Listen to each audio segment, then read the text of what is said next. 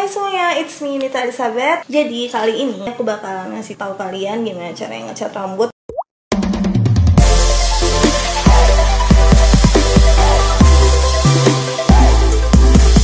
Untuk ngedapetin warna kayak gini, kalian harus nge-bleaching dulu kan. Jadi aku pertama-tama ngajarin kalian cara nge-bleach rambut. Aku pakai cat rambut lokal yang harganya masih terjangkau banget, yaitu Miranda. Bahan-bahan yang kalian perlukan adalah mangkok, kuas untuk ngecat sama untuk ngaduk, conditioner supaya rambut kalian kalau habis di bleach itu nggak gitu kasar dan karena bleachnya Miranda ini bubuknya tuh agak keras gitu. Jadi aku campur dengan conditioner agak banyak supaya dia lebih cair. Terus sarung tangan Miranda yang ini yang besar ini free gloves.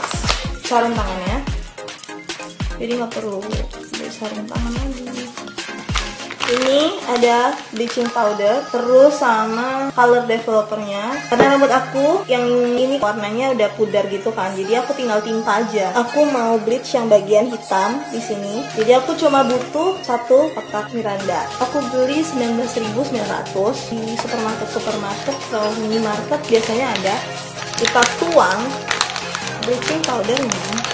Ke wadah yang udah disediakan. Ingat jangan sampai kehirup karena keras banget terus kalau bisa sih kalian pakai masker kalau nggak tahan sama bau.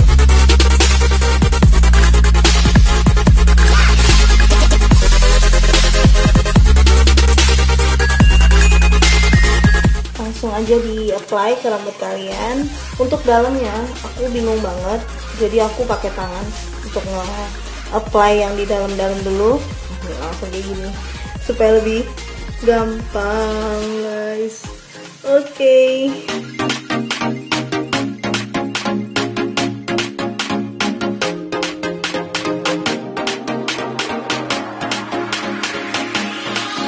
Yeah.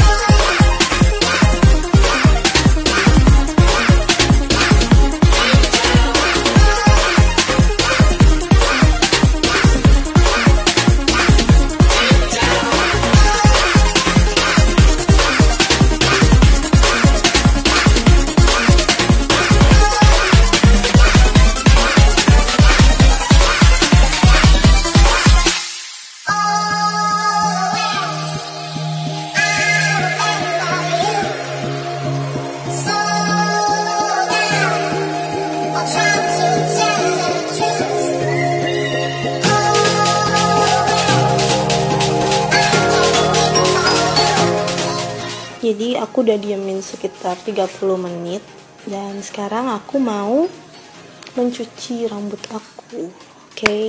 Kalian cucinya tuh kalian sampoin terus kalian conditionerin. Make sure kalian pakai conditioner tuh bener-bener baik supaya dia lembut dan gak kasar habis dicuci. Ini rambutnya udah kering, dia hasilnya gini. Kita tinggal ngecat warnanya aja. Aku sekarang mau ngecat pakai ini. Warna pink.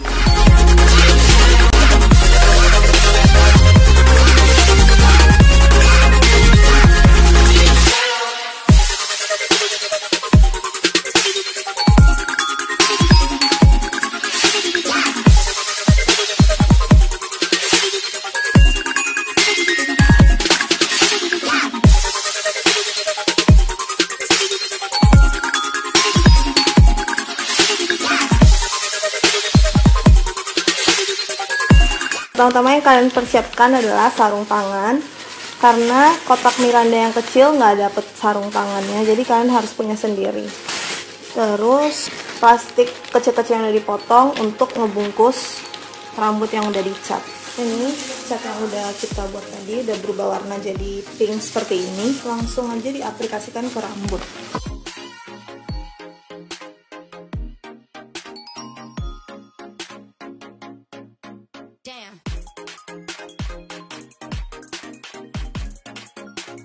Kenapa aku sisir begini supaya dia warnanya uh, ke dalam-dalam juga ikutan masuk.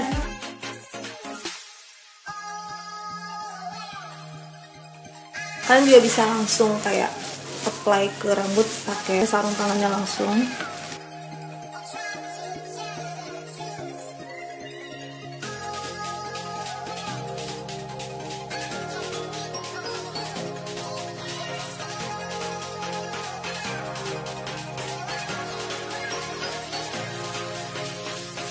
Memang terasa perih di kepala kalian pasti perih.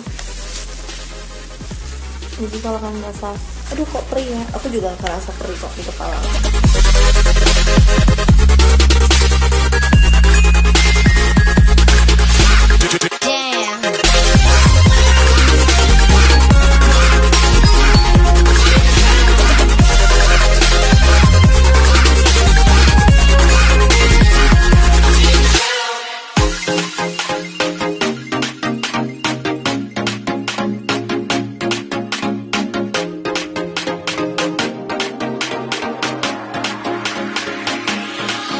Yeah.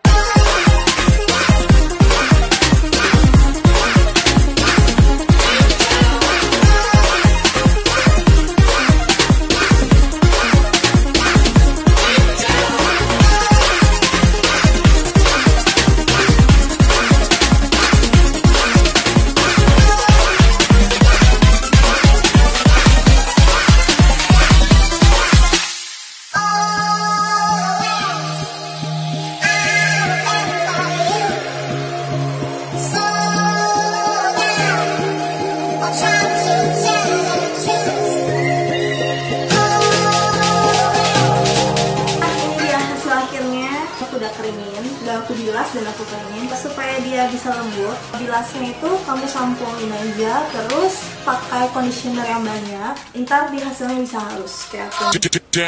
Karena kalau kamu pakai conditioner pasti kasar banget. That's it for today. Thank you so much for watching. I hope you guys liked it and I will see you guys on the next video. Bye bye